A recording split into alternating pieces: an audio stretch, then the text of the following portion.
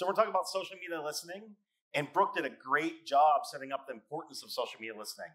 And I'm going to talk about social media listening overall in three distinct aspects. Okay. But before I do, um, I started my agency four years ago, June 2018. And in the spring of 2017, I led all the social media um, efforts on 84 Lumber's Super Bowl commercial called The Journey. If you're not familiar with The Journey, it's one of the top 10 Super Bowl commercials in the history of the Super Bowl. Um, highly controversial, so much so that Saturday Night Live lampooned it the week after the Super Bowl. Um, social media listening was critically important to this campaign. What many people don't realize is Maggie Hardy, who's the CEO of 84 Lumber, the journey is about a um, Guatemalan woman and her young daughter who take the arduous journey from Guatemala through Central America and Mexico to emigrate to the United States. Um, at the time, President Trump had just been elected. He had talked about building a wall. And at the end of this journey, it shows them coming the wall, going across the wall, and then seeing a big door and coming through that door.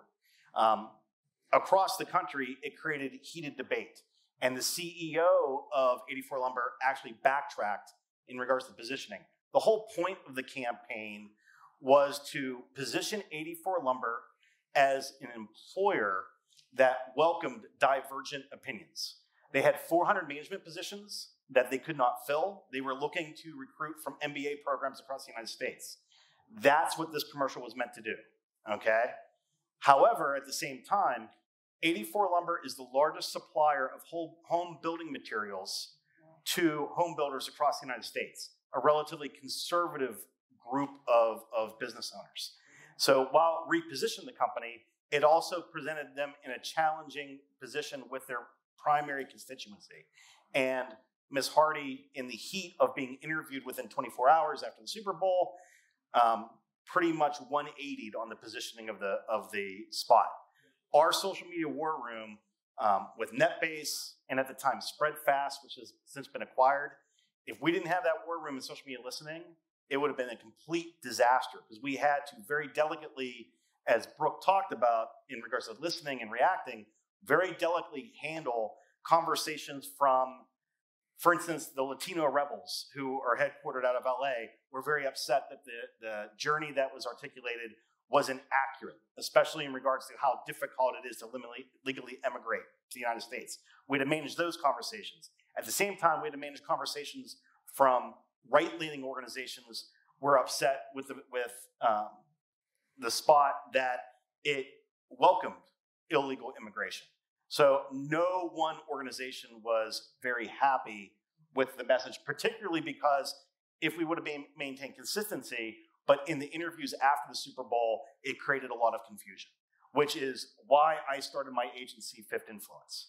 So I have a 25 year career in advertising, primarily digital advertising.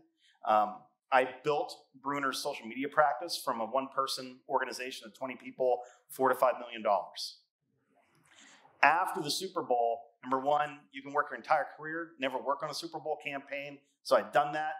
I was an empty nester. My children had, had, had left the home. One had graduated college, the other was in college. And I wanted a new challenge. Seeing the results of that Super Bowl campaign, particularly with immigration, I wanted to create an agency that primarily focused on issue advocacy. And what we do is we create emotive and performance driven campaigns for progressive organizations, brands, issue advocacy groups, and political campaigns. So, unlike many advertising agencies or marketing consultancies, we wear our politics on our sleeve. We work left of center. And I have friends that are across the aisle, um, most prominently Jeff Cohen, who used to be chief of staff for Connie Mack Jr. It doesn't mean that I'm not friendly and we don't share, but we only work with progressive organizations, which is going to influence part of my um, presentation today on social media listening. Now, let's talk about analytics. All right. I teach digital and social media analytics at the University of Pittsburgh's Katz MBA program. It's an immersive course. We cover everything from journey mapping to owned analytics, paid analytics, earned analytics. So, up on the screen, what we're seeing here is we have um, Google Analytics. All right. very, very important. And Tom mentioned earlier, earlier, he had a, Tom, are you here? Did he walk out? So, you know, I, I don't mind, you know, uh, being a contrarian. I disagree with Tom. I think Google Analytics are critically important. I believe he had a very compelling presentation, but it's a complement to Google Analytics. It's not that you can throw Google Analytics out. However, when I teach Google, Google Analytics can be a semester long course, okay? There are so many different facets that you can look at, all right, within Google Analytics. Then, in addition to website analytics, we have our owned social media analytics. And I am just using this as a proxy. This is the new meta interface for insights in regards to Facebook and Instagram. And we are looking at reach. But you can look at overall reach, you can look at reach for each individual piece of content, you can look at engagement for each individual piece of content. Again, tons of analytics.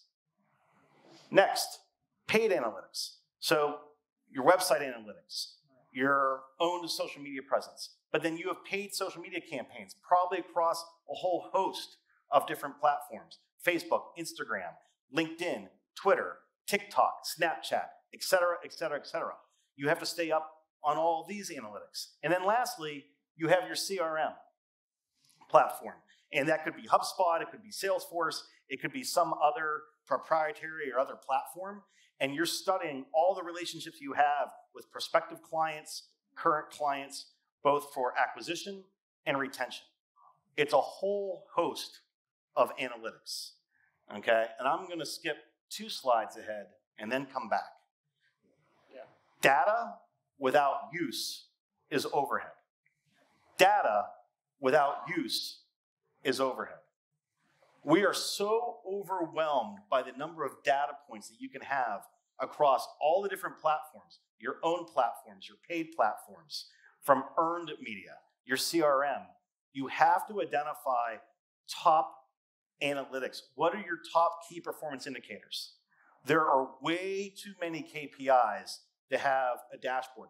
You have to look at what is actionable, okay?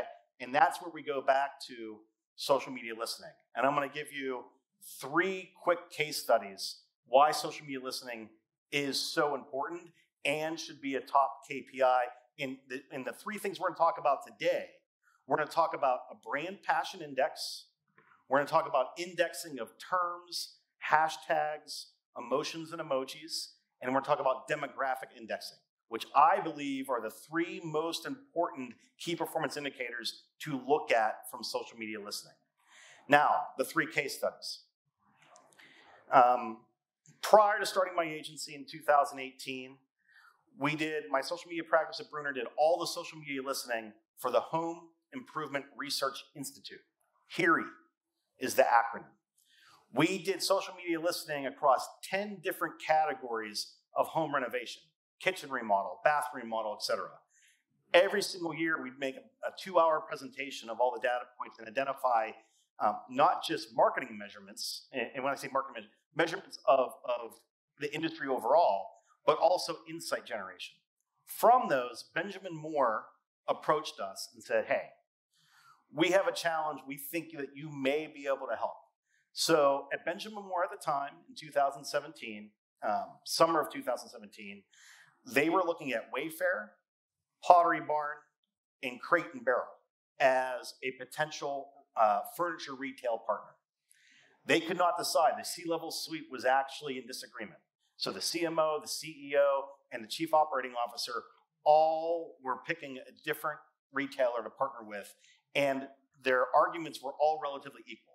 So the chief marketing officer came to us and said, Would you do social media listening for Pottery Barn, Wayfair, and Crate and Barrel? And is there anything you think you can identify that would help us make a decision one way or another?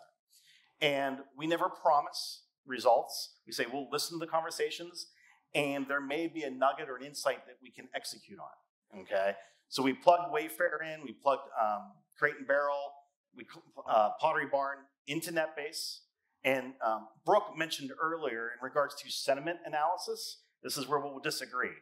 Sentiment analysis, sentiment analysis now, whether it's in NetBase, whether it's in Infegy Atlas, is highly, highly accurate. So she used the term, uh, uh, uh, uh derogatory term for excrement, which I won't use because there's really strict guidelines here at DigiMarCon in regards to vulgarity.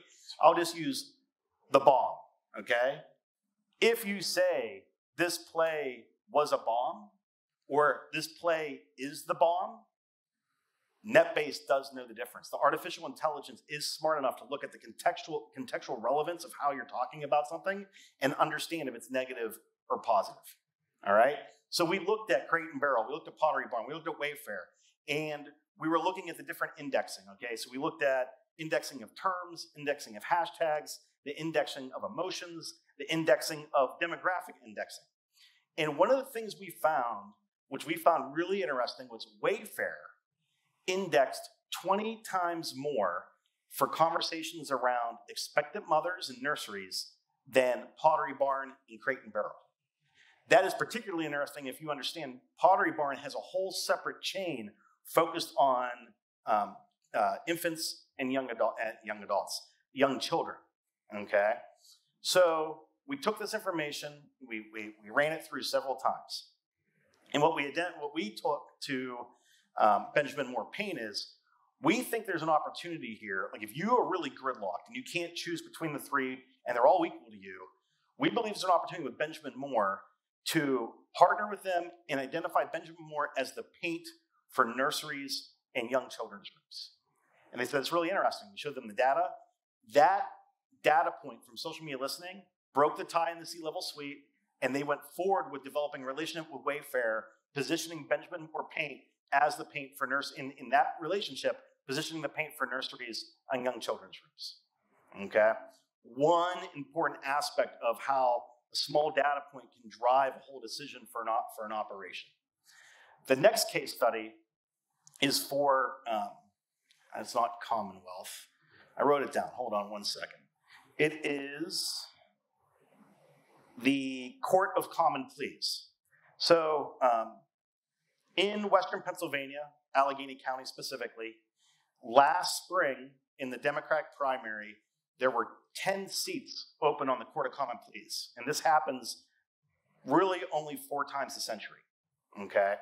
So we had a candidate that we worked with, and he wanted to understand what the likelihood of coming into the campaign, what his likelihood of winning was. We went in, we used the brand passion index, which I'm going to share with you. We looked at all there were like 27 candidates that ran for these 10, um, 10 again, I keep, I, I keep think, want to say Commonwealth, it's not Commonwealth, Court of Common Pleas.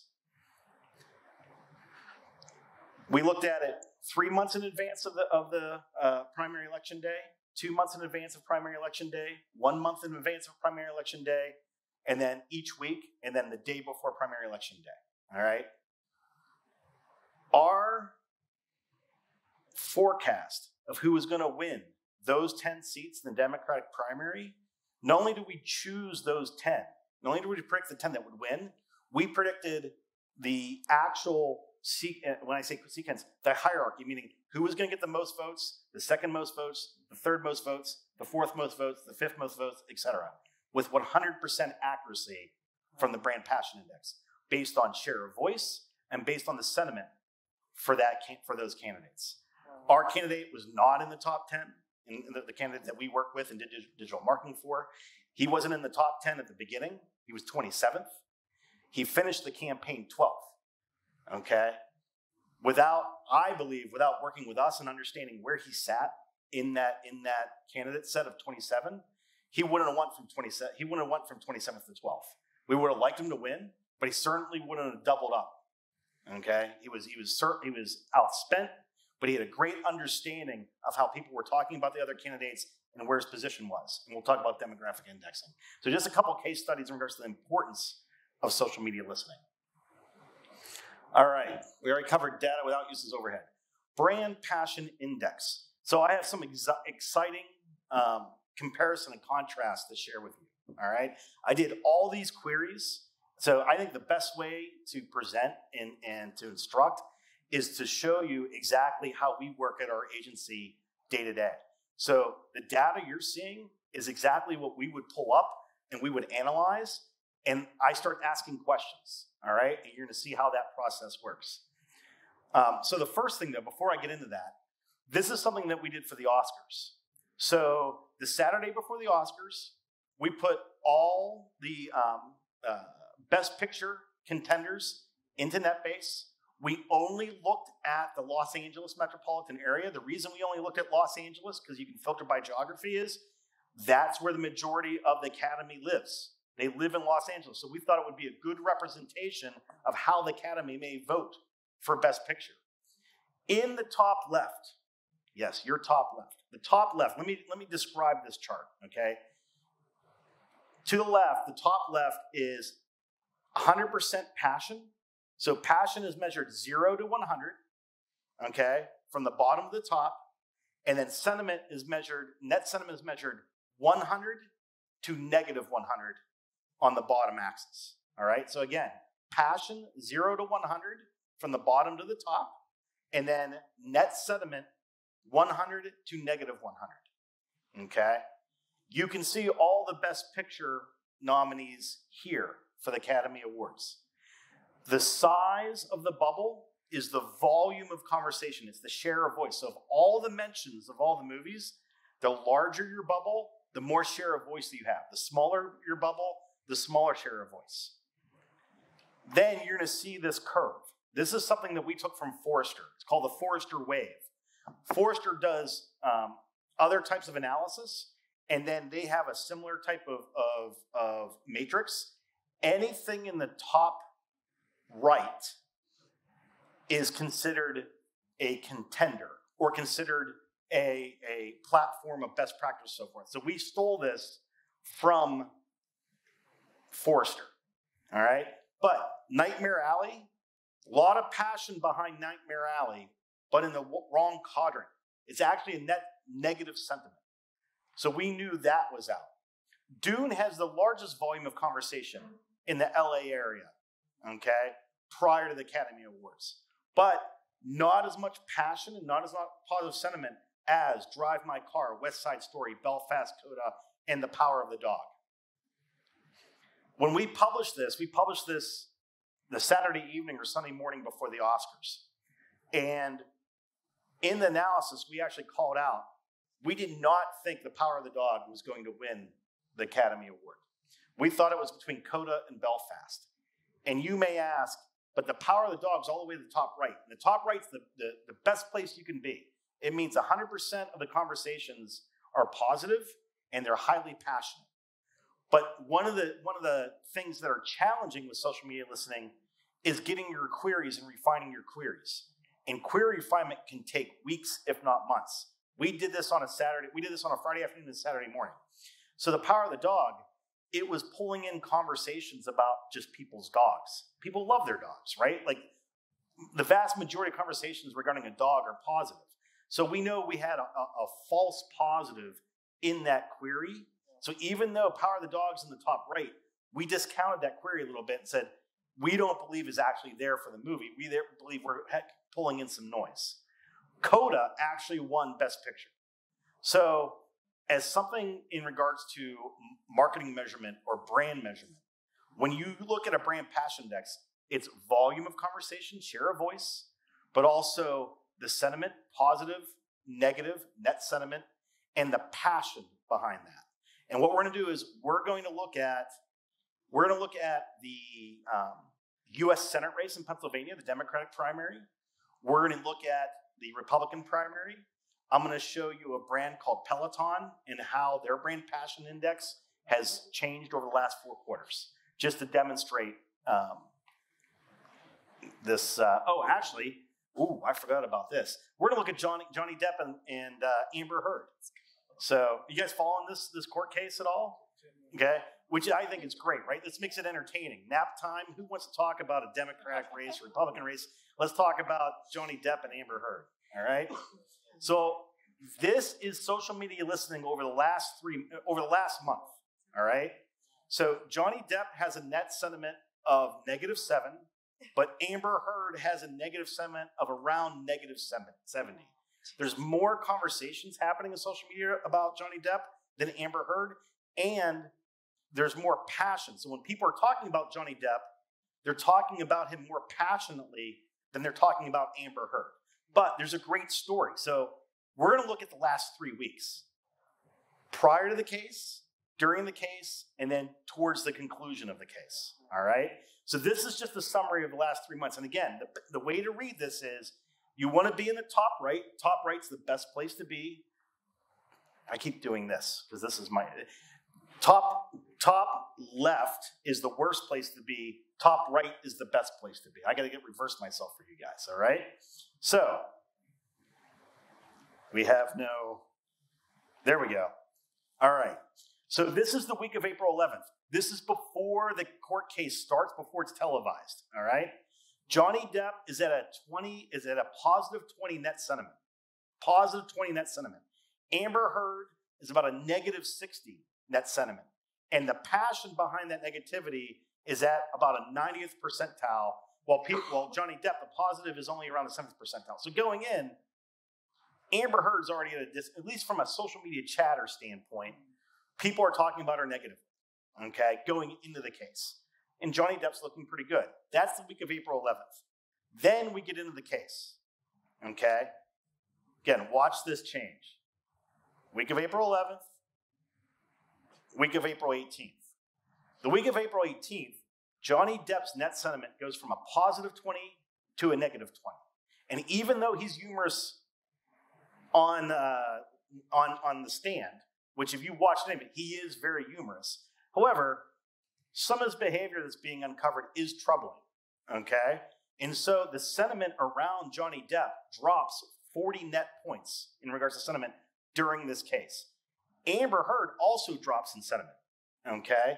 Less passion around her because the focus during this week, Johnny Depp's on the stand, Amber's sitting, you know, quietly. So the focus is on him. So there's a lot more passion in the conversation around him specifically. Then we get to the week of April 25th, okay? So what happens from April 18th to April 25th is he is very humorous on the stand. People start talking about how suave he is, how humorous he is. Even mainstream news outlets are talking about the entertainment value of the campaign. So he bumps up from negative 20 net sentiment to just a little bit above zero. All right. So the net sentiment re- regarding him improves. Amber's still way negative, but the focus is on Johnny. There's less passion around Amber. So when we started this, a lot of passion around Amber Heard from a negative standpoint, but as the case moves through the month, okay, Amber's negatives are still a big negative net sentiment, but there's less passion. So if you're a publicist for Amber Heard, you're disappointed that there's not you're not moving to a more positive net sentiment, but you're certainly happy the vitriol around her has dampened because they've exposed, even though Johnny Depp is a, is a likable, humorous guy, there is some behavior there that is troubling. And so I'm just using the brand passion index as if you're a publicist for either of these individuals, how you can use social media listening to coach your client or monitor what's going on. And I guarantee that their publicists are likely social media savvy and they have some type of listen, social media listening platform that they're looking at. The other thing about Amber Heard, when you when you look at this conversation and it drops in passion intensity, one of the things during this case is she's mocking Johnny Depp every day. So whatever he wears to court, she wears she mimics what he's wearing to court the next day. Okay?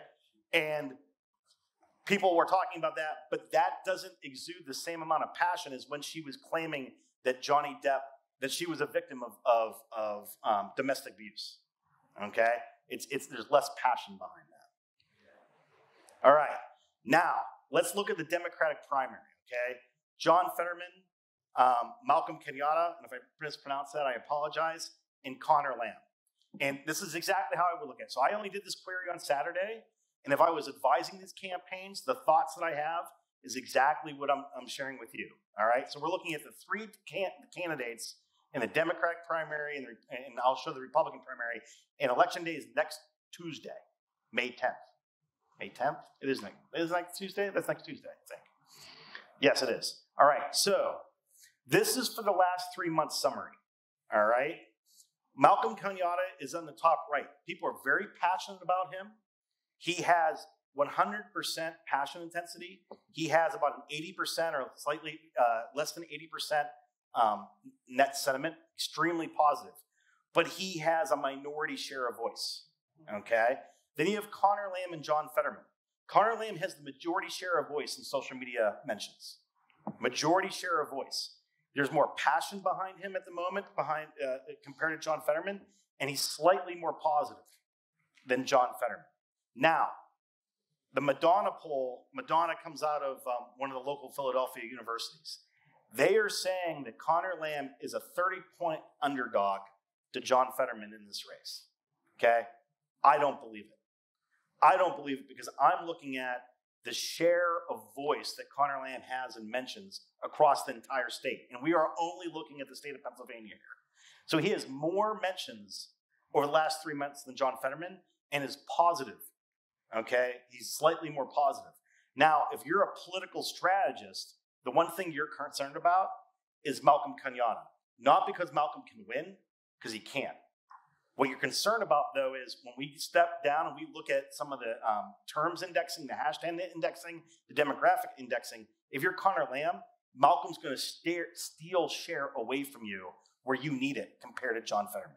And i am foreshadowing a little bit when we get into the other indexing. But let's look at the last three months. Okay? This is February. John Fetterman is at a negative 20, and there's a lot, there's a lot of negative commentary about John Fetterman. If you're following the news at this time, it's revealed that he did a as mayor of Braddock, he actually did a citizen's arrest of a young African American uh, male that he stated was armed at the time. And there's a lot, when I show the indexing, this is these are the terms that are most associated with, jo- with John Fetterman. So this was just breaking at this time. Connor Lamb is also in a negative net sentiment and then Malcolm is sitting, you know, uh, in, a, in a great position. In fact, Malcolm has sat in a pretty decent position the entire campaign. Then in March, Connor Lamb starts his broadcast advertising. Okay, so prior to March, he wasn't doing any broadcast advertising. His broadcast advertising starts. You can see that he moves to a positive sentiment, and there's a lot of passion behind Connor Lamb. John Fetterman also move, moves to positive, but less passion, Malcolm's passion drops a little bit, likely because he's not spending at the same level. And so the conversations about where is his fundraising, there, there's less passion behind his campaign. Then we're in April, very similar to what we're seeing over the three months. Connor Lamb's at a positive, about a positive 20. He has the share of voice in social media conversations, the majority share of voice. John Fetterman's also at a, at a positive, less passion. And then Malcolm Kenyatta is where he sits. But I look at the brand passion index, and you can look at crises. You can look at, and when we look at Peloton, I'll actually um, show this. You can actually map what's going on with a personality or a brand and how people are talking about them. It is much more accurate than survey research these days. Who picks up the phone? And, and I talk to pollsters all the time, and they get very upset about this. Okay? No one picks up the phone for a pollster anymore, but they speak candidly in social media. Social media is a much, much better barometer of sentiment regarding a brand, a personality, or to predict an electoral campaign or an issue advocacy. So we work on the Family Care Act. We use social media listening. We identified with, um, so fa- the Family Care Act, paid family leave. So the Women and Girls Foundation that's headquartered in Pittsburgh put a consortium together in the state of Pennsylvania, get paid family leave passed. You are not going to get paid family leave passed in this state unless it passes the Industry and Labor Committee in the Senate and in the House. Okay? The Republican Party is the majority in both. They have the majority of seats on industry and labor. You have to have Republican senators and Republican state reps support this legislation. Through social media listening, we found that Republican women would not support paid family leave. It was about taking care of children. But if you talk about, they would say we need leave to take care of our elderly parents. Okay?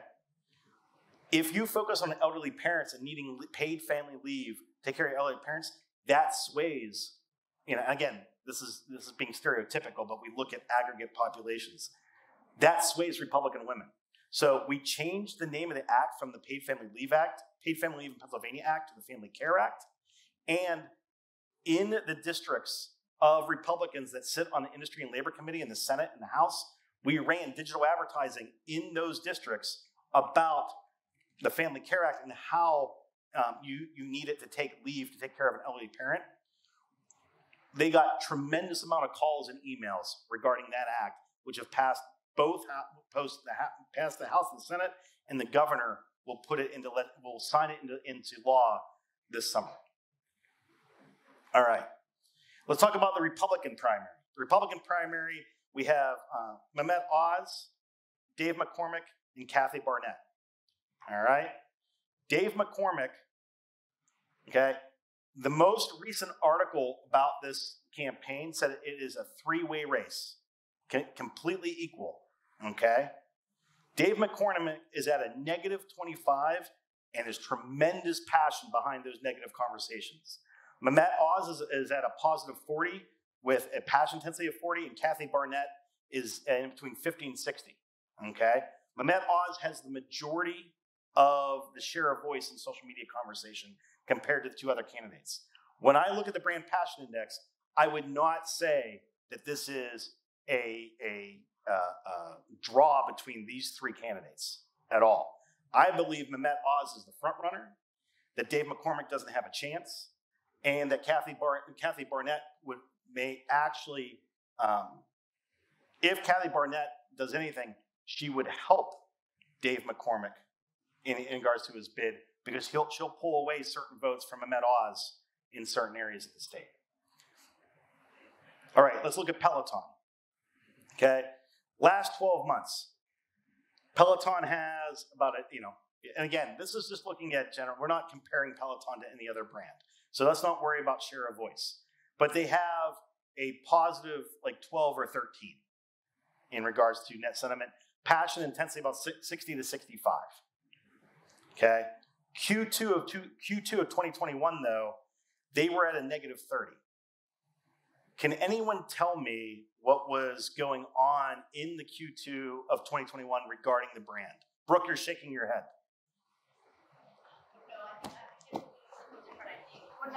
I didn't mean to call you on the spot. You were just saying yes. I figured. You... No, that was that was sooner. Sex and Sex and the City is a little bit sooner. Yes.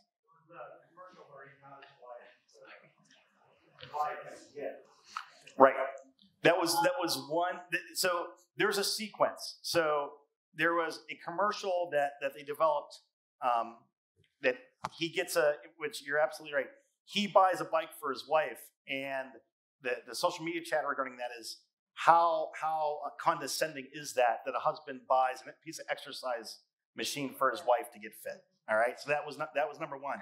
Secondly, um, and, and, the bigger thing in social media is they had um, children were dying underneath their um, treadmills. So they had they had a, a, massive recall of all their all their treadmills. Okay, so big negatives. All right. Now what they did is you can see just in one quarter, they pulled the advertising. So at the t- same time, they pulled the advertising. They did the recall. All right. They they sent out 125,000 kits for these treadmills and sent people to uh, retrofit the treadmills.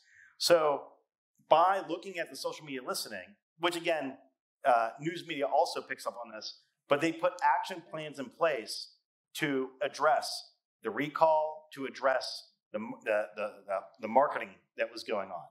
And then since that time, it's come back down to a 20. Now, when we look at indexing, what you're going to see is the majority of people that talk about Peloton and social media are not consumers.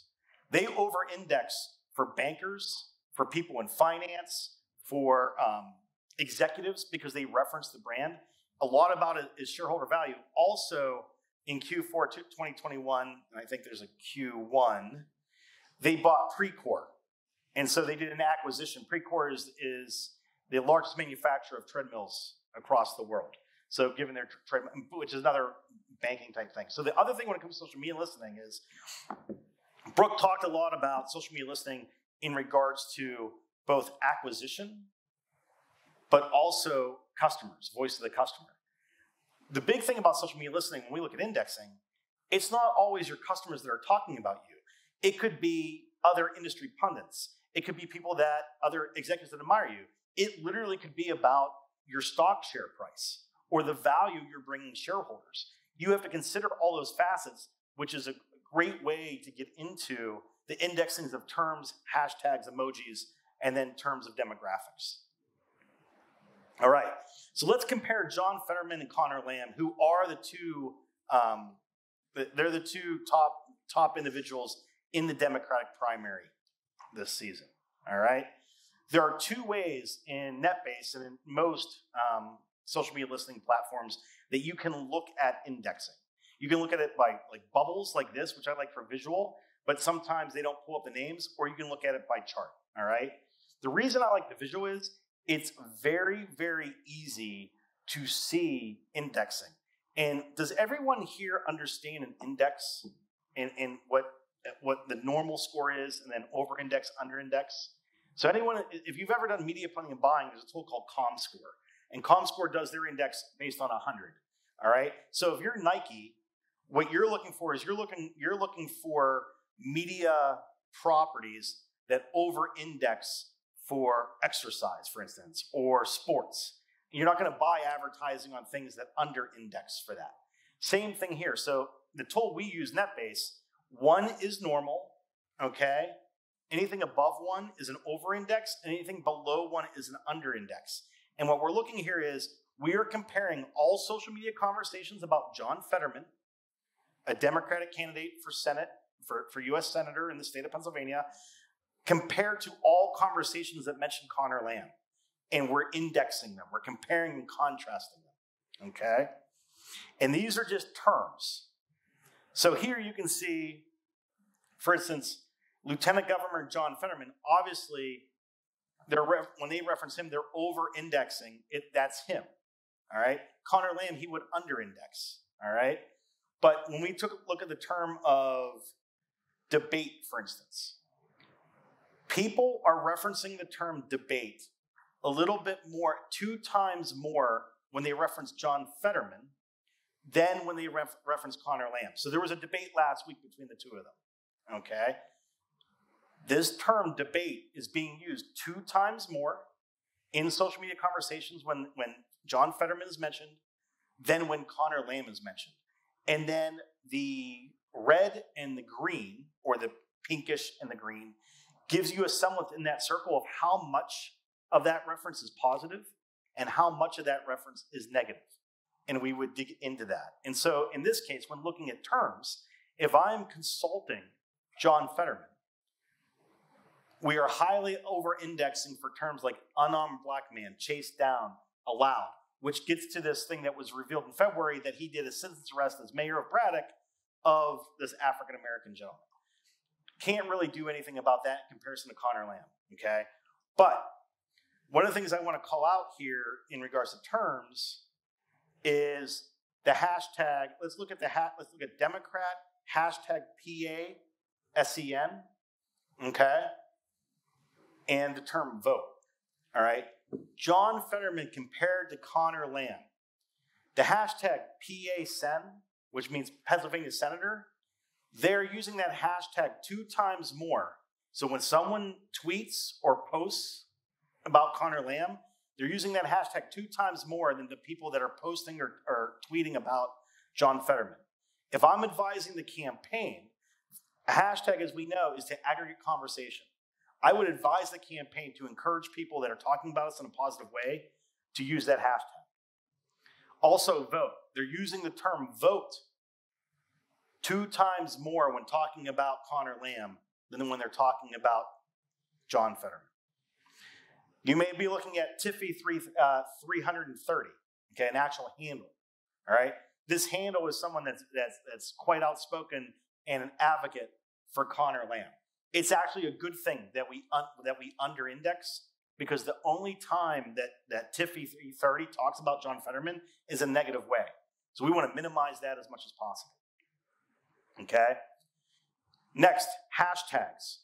When you look at 50 times more, the hashtag blue dot, all right, which is, is a great positive hashtag for a Democratic candidate.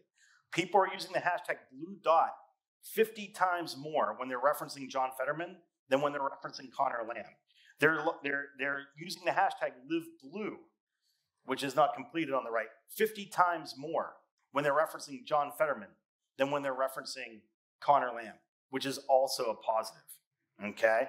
Now, Pennsylvania, the state of Pennsylvania, the, the, the hashtag Pennsylvania, they are 100% more utilizing that term with Connor Lamb than they are with John Fetterman, which is also interesting. So these are just small things. Now, we always look for small nuggets. Some of these may be actionable, others may not be actionable. And I'm doing this analysis almost in real time. All right?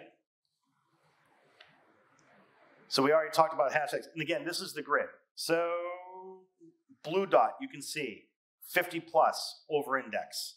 Um, live blue, 50 plus index. Okay? Droz, Dr. Oz. This is great. Okay? So if I'm advising the Fetterman campaign, people are using the hashtag Dr. Oz 50 times more when they're referencing John Fetterman than when they're referencing Connor Lamb. So they're already positioning John Fetterman as the Democratic nominee that will run against the Republican who they believe is going to be Dr. Oz. That's a great thing to have. That's, that's like the assumptive close. People are assuming that Fetterman is going to be the candidate. So if you're in that campaign, that's a great sign. So a small thing that you, you can look at, and you may want to encourage people to continue to do that. Okay? Under indexing, again, PA Senate. Um, uh, we the People. Now, We the People Blue is a, is a movement within the Democratic Party. If I'm John Fetterman, we are under indexing, so a little less than, than a little more, little less than half the time more. Am I explaining that correctly? I am. So Connor Lamb is getting that hashtag about 40 times more than John Fetterman, which means John Fetterman's not resonating within that, that smaller movement within the Democratic Party. And we would look at that. Okay? But that is something you can pick up from hashtag indexing. Then emojis. All right? I love emoji indexing. When we did, I mentioned Benjamin Moore before. When we did Wayfair, the baby and baby related emojis were the 50 times more over Pottery Barn and, and Crate and Barrel. In this case, John Fetterman over indexes almost for all emojis compared to Connor Lamb. All right? Which we know populations that use emojis tend to be tend to be younger. They tend to use you know uh, varied platforms. But here's what's really interesting. All right, the emotions indexing. All right, which is really tied to the contextual elements of the posts and emojis. Posts that are deemed where people are excited or in love with their candidate or they love what they're talking about, excitement, John Fetterman indexes 50 times more than Connor Lamb when it comes to excitement in social media conversations. He indexes two and a half times, or actually about uh, five times more when it comes to uh, posts about love compared to Connor Lamb. So if you're Fetterman, you got to feel good about that. Now, the only thing is, there is much more conversation. Connor Lamb has the majority of, of, of share, so I don't believe it's 30 points. I think it's a much closer race. But Fetterman certainly has greater excitement and love in social media conversations than his opponent, Connor Lamb. All right, we got six minutes and 50 seconds, so I'm gonna go fast. All right, McCormick versus uh, Mehmet Oz. This is gonna. This is very very simple. All right. Anger. In social media conversations, people are angry about Dave McCormick 50 times more than, they, than, than when they reference anger with Mehmet Oz. All right? If you're Dave McCormick's camp, you have to be concerned about that. You have to be. And again, in social media, people do react to extremes, but that is an extreme index. If I'm McCormick's camp, I'm like, how do we possibly address this? All right, Peloton. All right, these are, you know, you would expect to over-index for bike and ride and classes and uses. There's really no information we, w- we would really leverage here, okay? Now, this hashtag, um, Tour de France 2021, all right? So this is comparing to just general social media population. Way over index, three quarters positive, one, one uh, two thirds positive, one third negative. We would look at this conversation and say, okay, what's the negative conversation regarding the Tour de France 2021 and Peloton? Because we're way over indexing for it. So we want to understand what that's about. Halls of Ivy, that gray box up there, it's fascinating to me that there's no sentiment assigned to that. But Halls of Ivy is a um, fashion influencer, African American fashion influencer, who um, talks who, who talks about Peloton every so often. And then Adidas, it's not finished here, but the hashtag Adidas, we over index. So when people reference Peloton, they're also using the hashtag Adidas 50 times more than in other conversations, and it's 100% negative. What is going on between Adidas and Peloton in social, in social media conversations? And is there anything to act upon? Is there anything to take away? Well, we would certainly look at that. That is really interesting. Peloton is a sports brand, Adidas is a sports brand. They're relating the two together, and 100%, 100% of the conversation is negative. Why is that happening? Okay, this is what we find. This is what uh, our team found really interesting about Peloton. These are types of emojis, all right? So we over index. When people reference Peloton, they're using flags, which is probably tied to the uh, Tour de France, right? They're probably posting flags to their favorite riders. Um, there. Sports and hobbies, travel, okay? But faces, romance, okay? Music, they don't use those types of, of emojis. We under index for those, which I find really, really interesting, okay? We also, when it comes to emotions, we under Peloton under indexes for happiness and love. Luckily, we also under index for sadness. But when you look at the emojis, this is really, really interesting, right? The whole thing about Peloton, if I was in their brand team and I was looking at this indexing, what I would say is we need to encourage our users to talk about how their exercise makes them feel, how, how the workouts on the bike make them feel, because we are under indexing for those types of emotions and emojis. Okay? We're over indexing for the bike and the flags we're un- under indexing for emotion, which I'm really fascinated by because as a distance runner, as a father of distance runners, one of the greatest things that when you exercise is you're doing it for emotional health. So why are we under indexing for certain emotions and emojis that really should be celebrated in regards to our brand? Okay, demographic indexing. Demographic indexing, extremely, extremely powerful. And I will say up front, when I teach at the Katz MBA program, all the time they say, well, you know, is it statistically accurate? Whether you use NetBase, whether you use Infegy Atlas, whether you use Meltwater, they will not present any statistic that does not have statistical relevance, meaning there's a higher relevance. And When you see some of the percentages, if they know that 22% of the posts are coming from African Americans and they can assign ethnicity to 44% of those posts, that's more accurate than any survey you're going to do. Okay?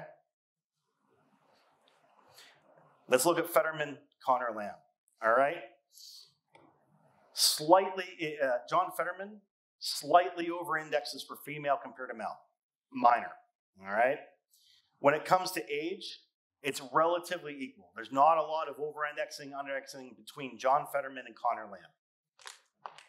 However, John Fetterman under, under indexes for African Americans pretty significantly, actually. I believe, I believe he's at a 0.77 compared to Connor Lamb. If you're a Republican strategist, you may get all over this for the, for the general campaign because if, if John Fetterman wins, it means that the concentration of African African Americans in our urban areas of Pittsburgh and, and, and, Philadelphia may not vote for him in the general election. And if they don't vote for him and they don't go out for him, that means that there's going to be less votes for a Democratic candidate compared to the Republican candidate. That is something that a Republican, a Republican uh, political campaign consultant is really look at, looking at, okay, when you're comparing. Also, in regards to under indexing, over indexing, if you're John Fetterman compared to Connor Lamb, you're under, under indexing with executive management. You're under indexing with education. You're under indexing for law and order. If you're a Democratic primary candidate and you're under indexing in educational law and order, you really need to look, all right? Law and order makes up 3% of the social media posts for Connor Lamb and John Fetterman. It makes up 4% for education. My wife's a first grade school teacher. She's been a school, uh, first grade school teacher since 1993. My uncle was a sergeant in the Pittsburgh police force. You want to talk about two professions that vote in every election and vote in big percentages? It's law and order and education. If you're Fetterman, you really need to look at that. Really, really need to look at that because that's a weakness in your campaign. All right? And this is completely better than any polling that you have out there. All right? Secondly, if I'm a Republican operative, I'm looking at this and saying, this is an opportunity for us in the fall if Fetterman wins. We can aggressively go after, you know, I don't think they could go after education, but they certainly could go after law and order. Then, this is interests. So, people that are interested in gaming, in sports, in religion, in arts and crafts, in music, over index for John Fetterman compared to Connor Lamb. With Connor Lamb, he indexes over Fetterman for those involved in politics, food and drink, travel, etc. Now, politics doesn't surprise me. Connor Lamb is the, is the establishment candidate. Fetterman is running as an outsider, even though he was lieutenant governor. If I was a Republican strategist, one thing that would concern me here is that Fetterman over indexes so much for religion. So if I was looking at the fall campaign, I, I have to identify and say, that's something we really have to look at. Oh, time is up. Okay. Um, other uh, interests automotive, fashion, health, and health, fitness, outdoors. Those are those four to the right. Those are over. So if I'm Fetterman's campaign, should be tapping into these people that have these interests. Okay, fashion. I can tell you right now, it's because of Gisele. I mean, if you guys know his wife at all, Gisele Fetterman. No, look her up. She's like a fashion icon. She's all over all types of magazines and so forth. All right. Um, to this, we're gonna go through this. So I'm just we're gonna end on this. Boom, boom, boom, boom, boom, boom, boom. But I think you're getting the maybe back. Going too fast. All right. So I compared Johnny Depp to Met Oz We'll just end on this. Johnny Depp and Met Oz just in Pennsylvania. All right? Indexing. Hispanics in Pennsylvania post on social media two times more about Johnny Depp than they do about Met Oz. Can't really act on that, but if I if I was if I was uh, Met Oz, you may want to grab Johnny Depp because people are talking about him two times more than your campaign among Hispanics in the state, which gives it some demographic target. So I hope you found this helpful. I'm over time. I don't, when we were going to break, if you want to come and ask me questions afterwards so that we don't take everybody's time, we can do, we can do that unless you guys want to ask questions and, and cut into break. Okay.